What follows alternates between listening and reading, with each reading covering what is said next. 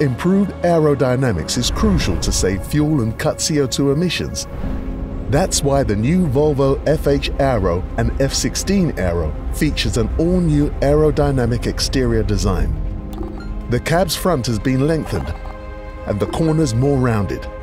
These upgrades significantly improve airflow around the vehicle, reducing drag along the sides. The new design maintains optimal aerodynamics even in high crosswinds.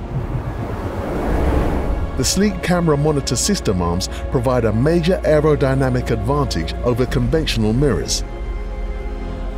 Finally, split lines and gaps are sealed and smoothed out, allowing air to pass with minimal resistance. Together, these enhancements contribute to smoother airflow around the vehicle, reducing energy usage and extending the truck's operational range.